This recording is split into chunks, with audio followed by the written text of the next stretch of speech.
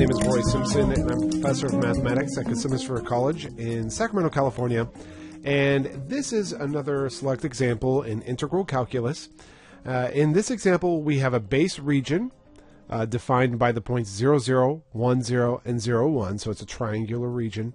And we're going to plant on top of that region equilateral triangles whose cross sections are perpendicular to the y axis. So let's go ahead and draw that first of all, and then uh, we'll uh, use that drawing to help us build some type of way to compute the volume of this uh, solid.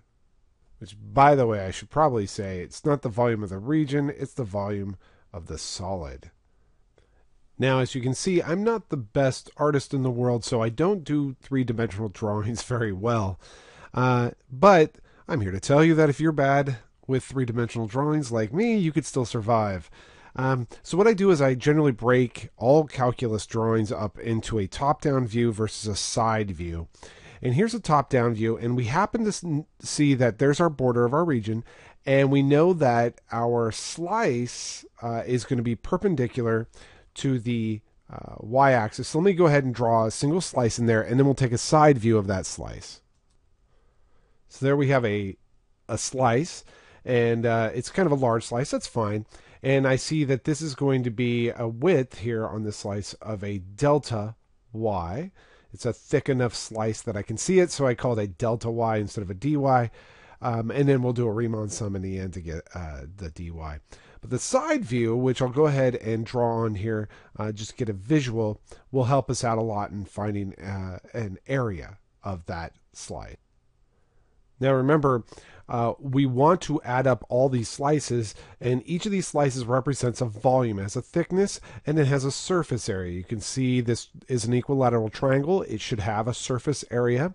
And so what we want to do is find an area. When I say surface area, by the way, I mean a front-facing surface area, because some people will argue, wait, a surface area means that you have an area up front, an area on the backside, and an area of the sides. Um, I'm just talking the front facing two dimensional surface area. So in this case, we need to find the area of this triangle. And then we have a width of a triangle, and then we'll that'll be our ith triangle. This is actually at a height of y sub i.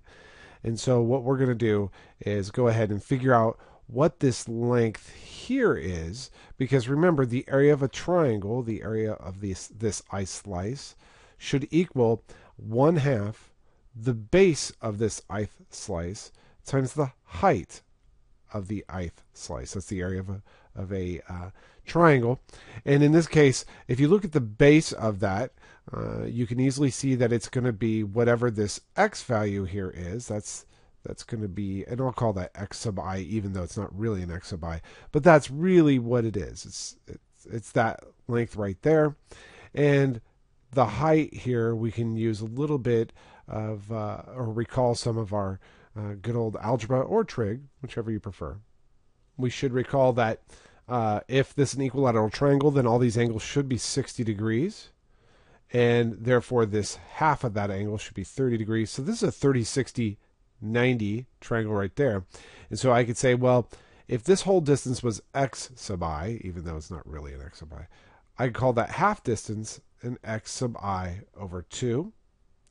And then we happen to know from uh, trigonometry that, well, this also will be x sub i, and this will be the square root of 3 times that x sub i over 2.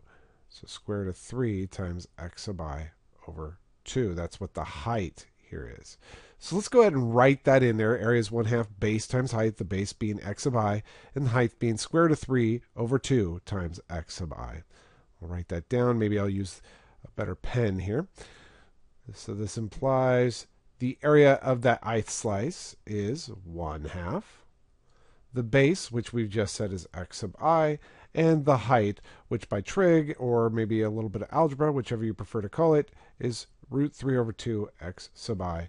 Uh, and then to clean this up, I'll call that root 3 over 4 x sub i being squared. Okay, so that's the area. We have a width. So therefore, the volume of that ith slice is the area of the ith slice times delta y. right, little wiggle in y, which will give me uh, root 3 over 4 x sub i squared delta y. Well, here's the problem. I'm adding up, I know my wiggle is going to be in y, so I'm going to be adding these slices from y equals 0 to y equals 1. Uh, but the problem is, uh, I this function right here, this x value right here, is not in terms of y. So I have to find a way to relate x and y together. And that's always found by looking at the border, which defines the edge of your region here. So this thing I'm highlighting yellow, I don't know if you can see that, but that thing I'm highlighting yellow there, that's the edge. That's that's kind of the varying edge that tells us how large our base is. So I'd like to find an equation for that in x and y. That's pretty easy to do because if you look at it, it's just a line that has a slope of negative 1 and has been lifted up one unit. So in other words, that's y equals a negative x plus 1. All right, great. I'll add x to both sides, subtract y from both sides, and this tells me that x should equal 1 minus y, which is very nice because that way I can replace the x sub i squared with a 1 minus y sub i squared and we'll be good. So that volume at the ith slice should be root 3 over 4 times the quantity 1 minus y sub i squared delta y. Now, of course, I don't want to just have the volume of this slice. I want to sum up all these volumes, so I want to get an approximate volume by summing, summing up all the volumes from i equals 1 to n of uh, all the volumes, the v sub i. So I'll just write the general formula in there, root 3 over 4 times 1 minus y sub i being squared, uh, delta y. Delta y never changes for us. And then if I take the limit as n goes to infinity, I will have the integral from 0 to 1, because the y values range from 0 to 1, of that root 3 over 4 times the quantity 1 minus y being squared dy, right? As n goes to infinity, that delta y gets infinitely thin and becomes a dy. Now at this point, I've rewritten it on my main page here so I can do the rest of my computation. Um, I would like to show you kind of a nice way to do this. Some people will multiply this out. They'll get 1 minus 2y plus y squared. But I want to practice a u sub here because it's a perfect situation for a u sub. I'm just going to let u equal 1 minus y because it seems like it'd be much easier to integrate u squared than 1 minus y squared. If I do that, I know the differential of u is going to be a negative differential of y. Okay, so this is what I'm going to do. I'm going to go ahead and turn this integral into a root 3 over 4 times the integral of, I'm not going to put in the limits because the limits will have changed, u squared, because that's 1 minus y is u. And instead of a dy, I'll replace it with a du, but I have a negative I'm going to go ahead and throw out front, right? Because dy is equal to a negative du. If you don't believe me, just solve this, right? Negative du. Okay. Now I'm going to put in my new limits of integration. When uh, y is 0, I get that u is 1. And when y is 1, I get that u is 0.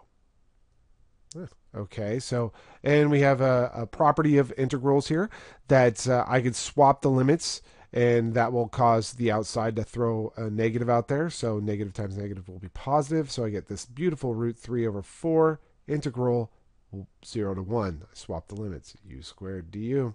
And I know that may seem like a lot of work. It's because I'm talking through it.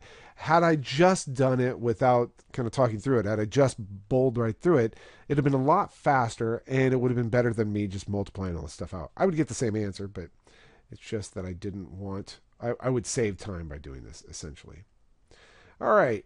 The antiderivative of u squared is u cubed over 3. I'm evaluating that from 0 to 1. So that's root 3 over 4 times 1 third minus 0, but I'm not really concerned about that. So that's root 3 over 12.